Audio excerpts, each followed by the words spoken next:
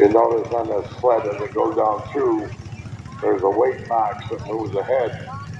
It applies more pressure to the beam and makes it pull harder and harder.